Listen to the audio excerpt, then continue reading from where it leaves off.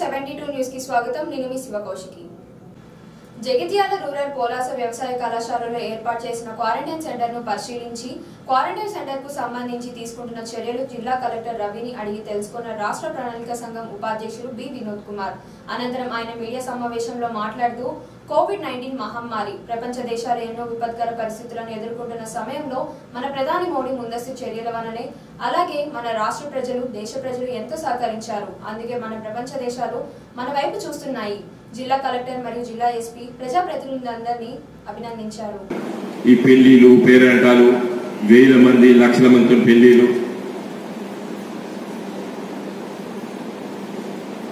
Mask అనేది ఇంకా మన నిత్యం ఎట్లయితే మనం షర్టు బనీని ఎట్లా చేసుకుంటామో అట్లనే ఇంకా మాస్క్ పెట్టుకోవాలి కొన్ని రోజుల పాటు కొన్ని నెలల పాటు.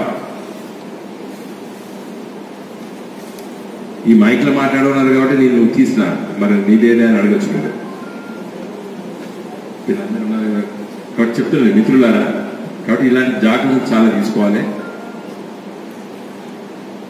దయచేసి ఇది తగ్గింది లేదు అని అనుకోవద్దు మనం. ఇది ఎప్పుడు మళ్ళీ రీలాక్స్ అంటారు ఇంగ్లీష్లో. వాళ్ళు ఎప్పుడు తిరగబడుతుంది చెప్పలేము మనం. కాబట్టి అందరం కూడా జాగ్రత్త తీసుకుందాం. నేను మళ్ళీ ఒకసారి ఈరోజు జగిత్యాల ఫస్ట్ చుప్పదండి శాసన నియోజకవర్గంలో జేఎన్టీయు నాచుపల్లి దగ్గర వెళ్ళి చూడడం జరిగింది. తర్వాత ఇప్పుడు ఇక్కడ అగ్రికల్చర్ యూనివర్సిటీ కళాశాల కళాశాల కూడా జరిగింది. చాలా సంతోషం జిల్లా యంత్రాంగానికి సంబంధిత అధికారులకు దాన్ని పట్టుకొని డిసిషన్ తీసుకుందాం అనుకున్నాం. నేను కేబినెట్ ఏముంటది ఎట్లా వాళ్ళు ఎట్లా తీసుకురావాలి?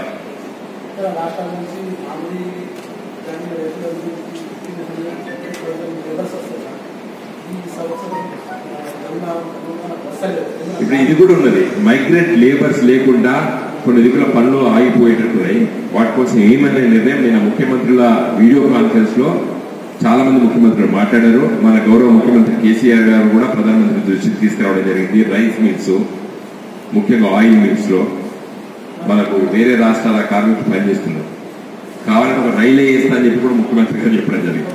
కాబట్టి చూద్దాం.